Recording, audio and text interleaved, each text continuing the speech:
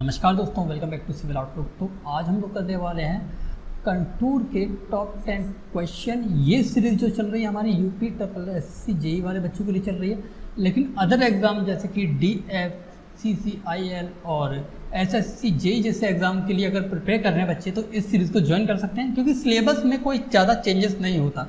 Okay हर एक question को detail में करेंगे और क्वेश्चन से रिलेटेड जो इंपॉर्टेंट फैक्ट्स हैं इंपॉर्टेंट डाटा है उससे को भी हम लोग इसमें इंक्लूड करेंगे ओके तो चलिए बढ़ते हैं वन बाई वन क्वेश्चन की ओर, और अगर वीडियो अच्छी लगे तो वीडियो को लाइक ज़रूर करना आप लोगों को। जितना आप लोग लाइक करोगे और कमेंट करके बताओगे कि आपको कौन से टॉपिक की डिमांड है तो वो टॉपिक भी मैं कराऊँगा। और जितने ज़्यादा आप लोग लाइक करोगे, उतने ज़्यादा मैं वीडियोस आप लोगों के लिए लेके आऊँगा। तो चलो, पहला क्वेश्चन देखते हैं हम लोग। The best method of interpolation of contours देखिए, अगर मैं कंटूर की बात कर देता हूँ if I talk about the contour तो उसमें दो मेथड होते हैं। एक होता है डायरेक्ट एक होता है इनडायरेक्ट ओके इनडायरेक्ट में दो होते हैं, एक होता है स्क्वायर एक होता है क्रॉस सेक्शनल जो डायरेक्ट है, उसमें रीडिंग ज़्यादा लेनी पड़ती है, इसमें से मुझे हाई एक्यूरेसी का होता है। क्योंकि डायरेक्ट रीडिंग लेते हैं, नाम ही डायरेक्ट देखा है। हाई एक्यूरेसी का होता है, क्योंकि ज़्यादा रीडिंग लेते हैं तो ज़्यादा लेबर लगती है। लेबर यानी ज़्यादा थकान वाला होता है। अगर इन दोनों की बात करूँ इनडायरेक्ट मेथड की तो ये दोनों क्या है? ये लो एक्यूरेसी के होते हैं। लो एक्यूरेसी के, क्योंकि इनडायरेक्ट मेथड होता है। और इन दोनों में कौन सा काम आता है? इंटरपोलेशन का, है ना? इंटरपोलेशन का। ये दोनों यूज़ करते हैं। ये यूज़ करते हैं हम लोग एक पर्टिकुलर स्क्वायर बना के, और क्रॉस सेक्शन यूज़ करते हैं, किसी भी लॉन्ग मेंबर के क्रॉस सेक्शन पे काम करते हैं, है ना? अब इनडायरेक्ट मेथड में काम आता है इंटरपोलेशन अब इंटर जो पोलेशन है इंटरपोलेशन है, उसके तीन केस हैं, है ना? एक अरिथमेट्रिक मेथड होता है। एक होता है आपका जियोग्राफिक एक होता है एस्टिमेशन इंटरपोलेशन करने के तीन तरीके हैं। अब इसमें से बोल रहा है बेस्ट मेथड कौन सा? तो बेस्ट होता है अपना ये अर्थमेट्रिक मेथड अपना बेस्ट होता है। अगर पूछेगा इंटरपोलेशन का इसमें से कौन सा मेथड नहीं है तो ये तीन के अलावा जो होगा, वो मेथड नहीं होगा। तो बेस्ट मेथड पूछा है तो अर्थमेटिक होता है और अर्थमेटिक में हम लोग क्या करते हैं? कैलकुलेशन करते हैं। तो यहाँ पे अर्थमेटिक कहीं दिख नहीं रहा, लेकिन जो कंप्यूटेशन है, वही अर्थमेटिक मेथड का दूसरा नाम है। तो इस वजह से इसका आंसर क्या हो गया? ऑप्शन नंबर सी क्योंकि बेस्ट मेथड पूछा है तो बेस्ट में एस्टिमेशन तो हो नहीं सकता। है ना? एस्टिमेशन तो है नहीं। तो हमको पता है एस्टिमेशन नहीं है तो all of this automatic cut हो जाता है। ग्राफिकल भी नहीं है तो बचा क्या? सी कंप्यूटेशन ओके तो आंसर क्या हो गया? इसका ऑप्शन नंबर सी अगला क्वेश्चन देखते हैं। Which of the following method country most suitable for hilly terrain देखो, एक कंटूरिंग कब करते हैं? अगर कंटूरिंग की बात करूँ तो लेवलिंग के बाद कंटूरिंग करते हैं। तो पहले हमको लेवलिंग करनी पड़ेगी इसका मतलब। और लेवलिंग हम लोग ट्राई करते हैं कि लेवलिंग हम लोग कैसे एरिया पे करें, भाई? फ्लैट ग्राउंड पे हम लोग चाहते हैं, जैसे हमको इंस्ट्रूमेंट रखने में दिक्कत ना हो। लेकिन पहाड़ी की बात करते पहाड़ी की रीडिंग लेनी है तो हम लोग क्या यूज़ करते हैं?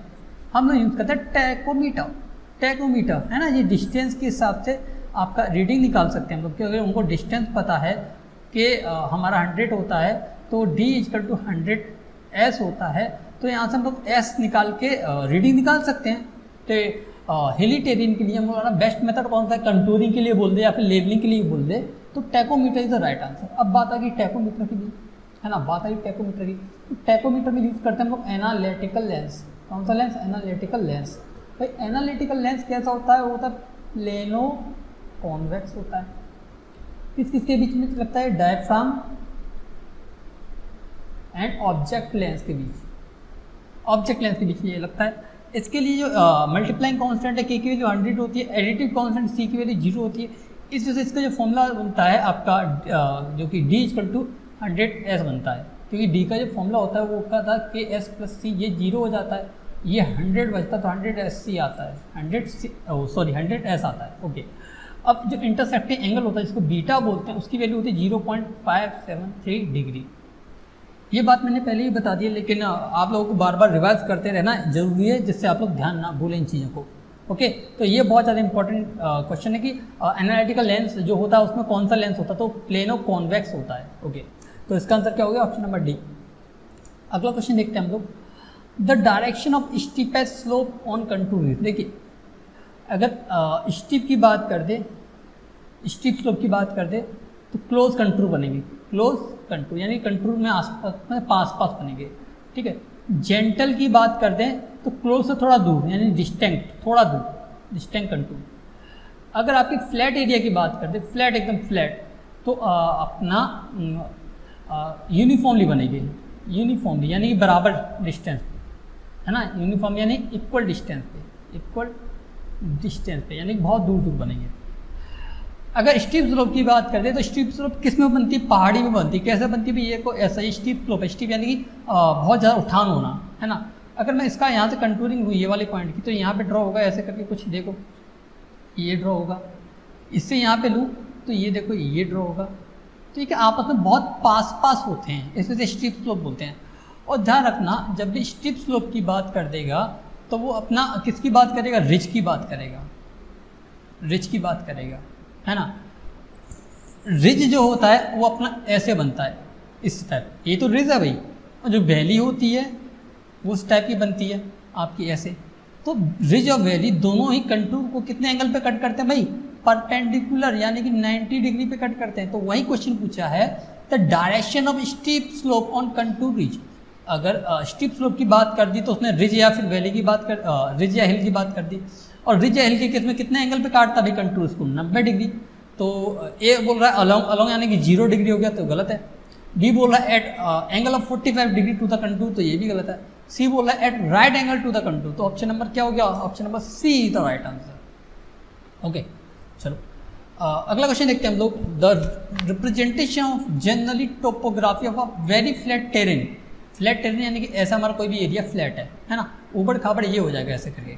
इज़ पॉसिबल ओनली देखिए, अगर फ्लैट टेरेन की अगर मैं बात कर देता हूँ, है ना? फ्लैट टेरेन की बात कर देता हूँ तो उसमें क्या स्पेसिंग दूर दूर होती है? दूर दूर होती है दूर दूर तो हम लोग क्या करते हैं, इसमें स्मॉल इंटरवल लेते हैं। Draw control at small interval है ना? ये ट्राई करते हैं। लेकिन वहीं अगर हिल की बात कर दूँ तो उसमें क्या कंट्रोल बहुत पास पास होते हैं, ऐसे करके क्लोज तो उसमें हम लोग क्या चाहते हैं, उसमें चाहते हैं हम लोग इंटरवल हमारा थोड़ा क्या है, बड़ा रहे। ठीक है? तो फ्लैट के लिए इंटरवल क्या होगा? मेरा छोटा होगा तो आंसर क्या होगा? ऑप्शन नंबर बी अगर वहीं यहाँ फ्लैट की जगह लिख दिया होता हिल लिख दिया होता, या फिर स्टीप स्लोप की बात कर दी होती तो उस केस में जो मेरा आंसर होता, वो लार्ज होता, है ना? उस केस में मेरा आंसर लार्ज होता। तो यहाँ पर आंसर क्या हो गया? ऑप्शन नंबर बी चलो, अगला क्वेश्चन देखते हैं। अगला क्वेश्चन क्या कहता है? For more precision prediction of the terrain relief the contour interval should be अगला क्वेश्चन देखते हैं हम लोग। Which of the following represent I the hill और पॉन्ड अगर हिल की बात कर दूँ हिल यानी पहाड़ी, ऐसे। और पॉन्ड की बात कर दूँ तो ऐसे। जो वैली होती है, उसमें पानी भर जाएगा तो वो पॉन्ड हो जाएगा भाई। तो ऐसे बात कर दूँ तो ये ऐसे सर्कल बनाते हैं। है ना? दोनों इसी तरह के सर्कल बनाते हैं। बस डिफरेंस ये रहता है कि ये इस तरह इस डायरेक्शन में इंक्रीज होता है और ये अंदर की ओर इंक्रीज होता है। ये इनमें अंतर है। तो क्या बोल रहा है? कंट्रोल हैविंग कंसंट्रेटिक सर्कल तो आंसर ए क्या है मेरा? राइट right आंसर है है ना? क्लोज स्पेस कंटूर तो भाई ये भी है। डिस्टेंक्ट नहीं है पैरेलल नहीं है। ठीक है, जो राइट आंसर है क्या? Option number A closely space वो तो डिपेंड करेगा आपका कि हम लोग कितना उसमें इंटरवल लेके चल रहे हैं, कितना स्पेसिंग है है ना? लेकिन अगर बात करें दोनों की तो बाय डिफ़ॉल्ट जो सर्कल होते हैं, इनके कंसंट्रेटिक सर्कल होते हैं। ओके तो आंसर क्या हो गया? ऑप्शन नंबर ए अगला क्वेश्चन देखते हैं। विच मेथड ऑफ़ कंट्रोलिंग चलो ये तो मेरे ख्याल से रिपीट हो गया, है ना? क्वेश्चन बहुत रिपीट हो जाते हैं। मेरे टाइम नहीं मिलता वीडियोस चेक अपनी पीपीटी चेक करने का। तो उसमें आंसर क्या हो गया? ऑप्शन नंबर आपका डी हो गया यहाँ पे, है ना? ये गलत है, यहाँ पे डी ही इसका राइट आंसर है। क्योंकि जब भी हिल की बात आएगी तो उस कंडीशन में हम लोग टैकोमीटर का यूज़ करेंगे। क्रॉस सेक्शन मेथड यूज़ करते हैं किसी भी लॉन्ग मेंबर के लिए लॉन्ग कंस्ट्रक्शन के लिए, जैसे कि रेल हो गया। ठीक है कैनाल हो गई। और रोड हो गया। इनके लिए क्रॉस सेक्शन यूज़ करते हैं। है, जैसे लेबलिंग में करते हैं। ओके अगला क्वेश्चन क्या कहता है? Which of the following feature is shown by the parallel control line देखिए, जब भी आपका पैरेलल वर्ड आ गया तो उसका मतलब समझ लेना कि वो यूनिफॉर्म की बात कर रहा है। यूनिफॉर्म स्लोप की बात कर रहा है। ठीक है यूनिफॉर्म स्लोप की बात कर रहा है। ओके तो यहाँ पे आंसर क्या हो गया? यूनिफॉर्म स्लोप पहले कंट्रोल लाइंस की बात करें तो वो कौन सी स्लोप होती है? यूनिफॉर्म स्लोप होती है है ना? और अगर क्लोज की बात करें तो वो स्टिप होती है। डिस्टिंक्ट की बात करें तो आपकी जेंटल होती है है ना? तो आंसर क्या हो गया? ऑप्शन नंबर डी अगला क्वेश्चन देखते हैं which of the following lines indicate the presence of ridge ठीक है रिज ऐसी होती है तो क्या हो गया? यू शेप हो गया। वैली होता तो इन्वर ये हो जाता, है ना? ये इन्वर्टेड यू हो गया, ये यू हो गया। तो रिच की बात करते हैं तो रिच कैसी होती है? यू शेप्ड होती है। ना? यू शेप्ड होती है, लेकिन इन्वर्टेड होती है। तो यहाँ पे इन्वर्टेड होता तो राइट आंसर अच्छा होता, लेकिन आंसर के अकॉर्डिंग यू एक ही में दिख रहा है तो आंसर क्या हो गया? ऑप्शन नंबर डी चलो, अगला क्वेश्चन देखते हैं। लास्ट क्वेश्चन है वीडियो का। Which of the following statement is true हमको ट्रू बताना है, कौन सा सही है? ऑप्शन है contour lines cross valley at 90 degree जब भी वैल्यू की बात कर देगा तो वैल्यू होगा आपका यू शेप में। रिच की बात कर दे या फिर हिल की बात कर दे तो वो है इन्वर्टेड यू और दोनों ही कितने एंगल पे कट करते हैं? कंट्रोल लाइंस को 90 डिग्री पे। तो ये राइट आंसर है। सेकंड बोल रहा है control lines cross ridge ridge या फिर हिल बोल दे तो वो भी राइट राइट आंसर है नाइन्टी डिग्री पे। थर्ड बोल रहा है control lines are widely spaced where ground है स्टीप स्लोप देखिए, जब स्टीप स्लोप की बात आ गई स्लोप की अगर बात करें तो क्लोजली स्पेस होता है क्लोजली है ना? लेकिन जेंटल स्लोप की बात कर लेगा तो वहाँ जेंटल स्लोप की बात कर ले या फिर फ्लैट की बात कर ले फ्लैट ग्राउंड की बात कर ले तो उसमें ज़्यादा एक्यूरेट रहेगा। तो उसमें वहाँ बोलेंगे वाइडली स्पेस कंटूर तो यहाँ पे ये गलत है। तो आंसर क्या हो गया ऑप्शन नंबर इसमें? जो फ़र्स्ट एंड सेकेंड तो यहाँ पे राइट आंसर क्या है अपना? Option number D okay I hope कि वीडियो आपको अच्छा लगा होगा। जितना भी कंटेंट था, जितना भी रिलेटेड करा सकता था हमें कंटूर से रिलेटेड उतना डाटा मैंने करा दिया। अगर आपको फिर भी किसी भी क्वेश्चन में कोई भी डाउट रह जाता है या फिर किसी भी टॉपिक को आप चाहते हैं कि सर इस टॉपिक के ऊपर आप एक सेपरेट वीडियो बना दीजिए जैसे कि आ, मैं बनाऊँगा अभी आपका फंडामेंटल लाइंस के ऊपर फंडामेंटल लाइंस के ऊपर जो आपका लेवलिंग में होता है उसके ऊपर एक बच्चे ने कमेंट किया था उसके ऊपर एक सेपरेट वीडियो बनाएँगे। तो इस तरह आप कमेंट कर सकते हो कि सर ये टॉपिक मुझको नहीं आता इसके ऊपर एक सेपरेट वीडियो बना दीजिए तो उस पर्टिकुलर टॉपिक के ऊपर एक वीडियो और बन जाएगी। ओके तो लेक्चर कैसा लगा आपको कमेंट तो लेक्चर कैसा लगा आपको कमेंट बॉक्स में कमेंट करके बताइएगा। अगर लेक्चर अच्छा लगा तो वीडियो को लाइक कीजिए चैनल को सब्सक्राइब कीजिए और साथ ही साथ वीडियो को शेयर कीजिए। मिलते हैं नेक्स्ट लेक्चर में। Till then be happy keep learning and don't forget keep smiling PDF चाहिए इसकी तो टेलीग्राम चैनल से जाके डाउनलोड कर सकते हैं आप। लिंक डिस्क्रिप्शन में ओके